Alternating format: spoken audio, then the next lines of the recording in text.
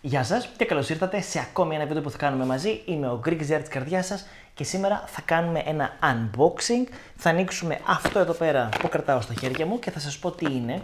Σας έχω αναφέρει για το συγκεκριμένο ότι θέλω να το αγοράσω σε ένα από τα προηγούμενα βίντεο που είχα κάνει και αφορούσε το συγκεκριμένο το βίντεο τα ρούτεράκια της Huawei που είχα αγοράσει για να μπορέσω να κάνω το δίκτυο MES. Οπότε λοιπόν σε εκείνο το βίντεο είχα αναφερθεί ότι θέλω να αγοράσω και ένα 5G mobile ρούτεράκι και να μπορώ να το χρησιμοποιώ στο χωριό, ούτως ώστε να κόψω εντελώς τη σταθερή γραμμή η οποία αποδίδει γύρω στα 12-13 MB και να έχω μόνο mobile internet, ούτως ώστε να έχω και καλύτερες ταχύτητες και εφόσον θέλω να μπορώ να το χρησιμοποιήσω και σε κάποιο άλλο σημείο εκτός από το συγκεκριμένο. Ήρθε λοιπόν η ώρα αυτή, αγοράστηκε το συγκεκριμένο. Αυτό εδώ πέρα είναι ένα mobile router από την ZTE και συγκεκριμένα είναι το μοντέλο MU 5002. Έχω ανοίξει εγώ εδώ πέρα το πλαστικό και το έχω δει η αλήθεια είναι, άρα δεν θα το δω πρώτη φορά, ωστόσο πάμε να σας το δείξω. Το κουτί έρχεται έτσι, έχει απλά μία πλαστική ταινία εδώ και μία πλαστική ταινία εδώ για την ασφάλεια. Το ανοίγουμε και όπως το ανοίγουμε το βλέπουμε είναι έτσι ακριβώς. Εδώ πέρα μέσα υπάρχει η συσκευή του mobile internet, είναι αυτό εδώ πέρα. Έρχεται με αυτό εδώ πέρα το πλαστικό από μπροστά το οποίο απλά μπροστά στην οθόνη γράφει 5G και από πίσω έχει ένα καπάκι το οποίο γράφει ZTE. Είναι ένα modem και σας το δείχνω εγώ εδώ πέρα αυτή τη στιγμή, το οποίο έρχεται με μια θύρα η οποία είναι Ethernet, έρχεται με μια θύρα η οποία είναι USB-C και επίσης έρχεται με Wi-Fi 2,4 και 5 GHz, ουσιαστικά έρχεται και με Wi-Fi 6. Επίσης έχει τη δυνατότητα και το βλέπουμε εδώ από πάνω να μπορέσουμε να συνδέσουμε μία εξωτερική κεραία για να μπορούμε να έχουμε καλύτερη λήψη σήματος του δικτύου και της τηλεφωνίας, όπως επίσης μπορούμε να συνδέσουμε μία άλλη εξωτερική κεραία, η οποία νομίζω έχει να κάνει με το Wi-Fi. Έρχεται με υποδοχή κάρτας Nano SIM, είναι η πιο μικρή κάρτα την οποία μπορούμε να εντάξουμε. Είναι η θήκη που βλέπετε εδώ πέρα. Και το αγόρασα το συγκεκριμένο γιατί εγώ μέχρι πρότινος χρησιμοποιούσα αυτό εδώ πέρα που βλέπετε να έχω τη συσκευασία του. Είναι ένα ρούτεράκι Alcatel, είναι το Alcatel One Touch Link 4G Plus. Είναι αυτό εδώ πέρα που σας δείχνω αυτή τη στιγμή. Από πίσω είναι αυτό, δεν είχε καμία επιπλέον θύρα, είχε απλά τη θύρα φόρτισης. Δείτε ωστόσο και την τεράστια διαφορά την οποία έχουν αυτά τα δύο ρούτεράκια όσον αφορά το μέγεθός τους. Δείτε το εδώ. Η διαφορά τους είναι τεράστια. Η αλήθεια είναι πως εγώ όταν πήγα να πάρω το mobile router, το 5G, το συγκεκριμένο, πίστευα ότι θα είναι στο μέγεθος από αυτό. Ωστόσο, διαψεύστηκα γρήγορα γιατί με το που το έβγαλα από τη συσκευασία, ή γενικότερα με το που έπιασα και το κουτί. Λέω, ή είναι πολύ μεγάλο, ή έχει πολλά χαρτιά μέσα, ή οτιδήποτε. Πάμε ωστόσο να δούμε τι άλλο έχει μέσα. Λοιπόν, εδώ πέρα μέσα έχουμε. Ωραία. Έχουμε τον φορτιστή, είναι ένας φορτιστής από τη ZTE με USB α. Αυτό εδώ πέρα από ό,τι βλέπω είναι 18W το μέγιστο. Έρχεται με αυτό εδώ πέρα που είναι ένα, ε, μια καρφιτσούλα για να μπορούμε να βγάζουμε και να βάζουμε την κάρτα SIM γιατί είναι από τις θήκες οι οποίες θέλουν να πατηθούν για να μπορέσει να βγει.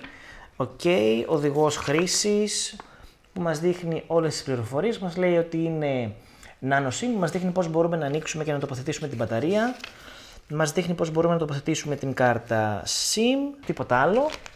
Εδώ έρχεται επίσης με ένα καλώδιο USB-C και έρχεται φυσικά με την μπαταρία.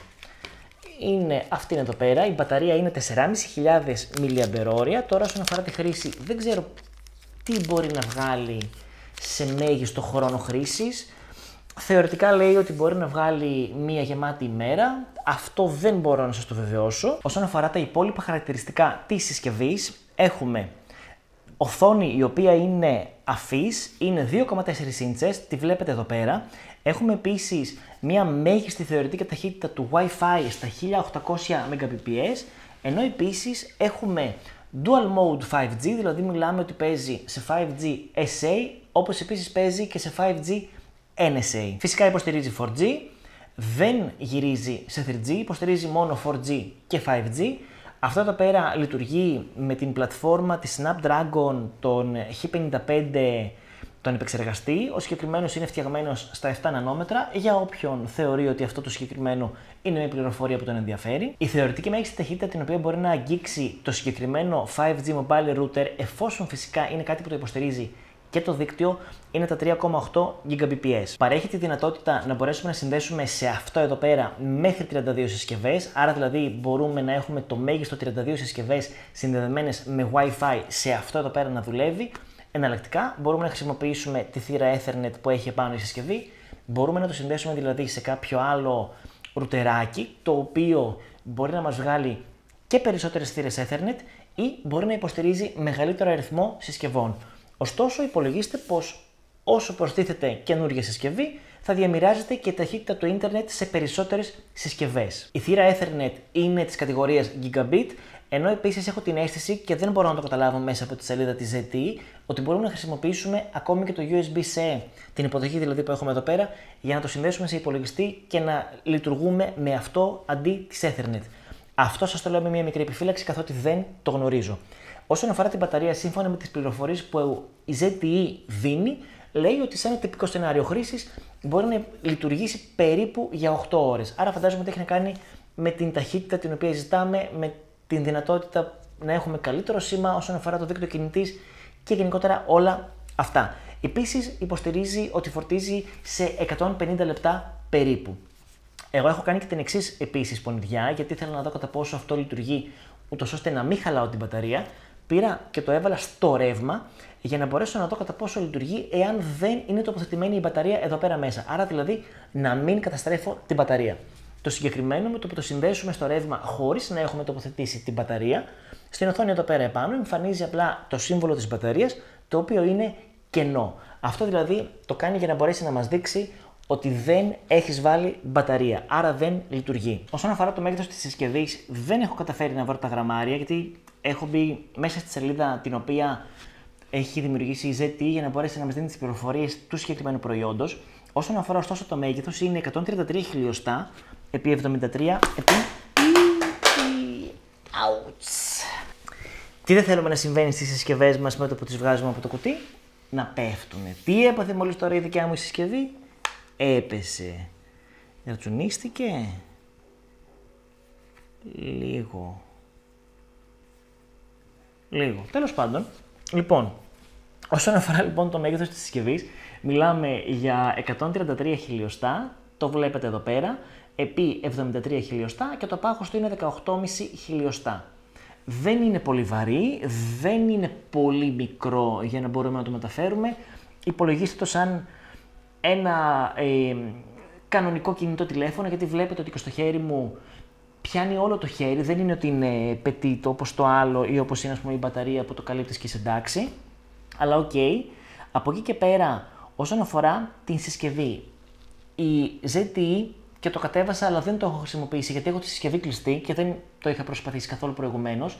Γυρνάει και λέει ότι μπορείτε μέσα από το ZTE Link App να συνδέσετε το modem με το κινητό σας ή γενικότερα με την εφαρμογή και μέσα από εκεί να βλέπετε την ταχύτητα που μπορείτε να έχετε στο δίκτυο και γενικότερα να κάνετε κάποια άλλα πράγματα και ρυθμίσεις. Το λέω και πάλι ότι δεν την έχω χρησιμοποιήσει, άρα δεν ξέρω παραπάνω πληροφορίες. Όσον αφορά το συγκεκριμένο το ρούτεράκι και το modem. Αυτό με το που το ανοίξουμε, στην οθόνη υπάρχει ένας οδηγός, ο οποίος αρχικά μας ζητάει να επιλέξουμε τη γλώσσα στην οποία θέλουμε να χρησιμοποιήσουμε τη συσκευή και από εκεί και πέρα μας κάνει κάποια βήματα για να μπορέσουμε να το ρυθμίσουμε.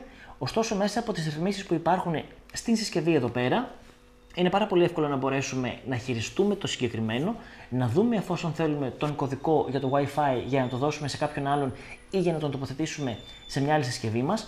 Υποστηρίζει WPS και μπορούμε να το λειτουργήσουμε.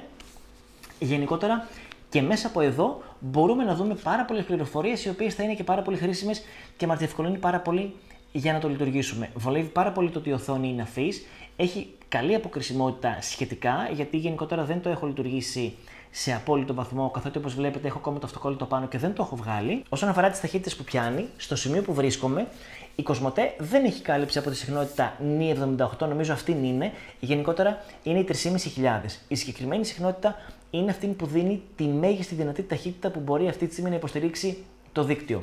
Η Vodafone δεν ξέρω αν έχει αυτή τη συχνότητα στην περιοχή που βρίσκομαι. Ωστόσο, βλέπετε ότι από ένα τεστ το οποίο έχω κάνει και με την Cosmote και με τη Vodafone, οι ταχύτητες δεν είναι άσχημες. Σε κάθε περίπτωση όμως η Vodafone, συγκριτικά με όλα αυτά που ακούω και διαβάζω όλο αυτό το διάστημα, έχει πολύ καλύτερες ταχύτητες. Χωρίς βέβαια να γνωρίζω αν η κεραία της Vodafone εδώ πέρα χρησιμοποιεί, εξυπηρετεί βασικά τόσα πολλά άτομα όπως μπορεί να εξυπηρετεί η κεραία της Cosmote. Γιατί σαφώς αν η κεραία της Cosmote έχει περισσότερο κόσμο που εξυπηρετεί, άρα δίνει χαμηλότερη ταχύτητα σε όλους. Σε κάθε περίπτωση όμως η Vodafone αυτή τη στιγμή έχει καλύτερη ταχύτητα. Όσον αφορά την λειτουργία της συσκευής αποκλειστικά με τη συχνότητα 978, για τη συγκεκριμένη της συχνότητα μπορώ να το χρησιμοποιήσω όπως έχει γίνει αντιληπτό μόνο με την Cosmote. Αυτά λοιπόν από εμένα. Αυτά από το μοντεμάκι τη ZTE, το MU 5002 ή γενικότερα 5002. Υπολογίστε ότι το συγκεκριμένο το modem έχει ακόμη μία έκδοση η οποία είναι 5001. Δεν ξέρω τι διαφορές έχουν οι συγκεκριμένες. Έχω μία μικρή κρεμότητα όσον αφορά τα βίντεο, γιατί θα σας κάνω ένα βίντεο τόσο ώστε να σας δείξω πώς συνδέομαι αυτό με τα ρούτεράκια της Huawei και πώς λειτουργεί και ποια είναι η ταχύτητα που δίνει. Όλα αυτά θα τα δούμε άλλη στιγμή. Ό,τι θέλετε μπορείτε να μου το ρωτήσετε, μπορείτε να μου το γράψετε στα σχόλια. Φυσικά share, like είναι αποδεκτά και είναι επιθυμητά. Να περνάτε καλά, μην ξεχάσετε και μην παραλείψετε να εγγραφείτε για να μπορείτε να βλέπετε όλα τα βίντεο. Σας χαιρετώ, καλή συνέχεια, γεια σας!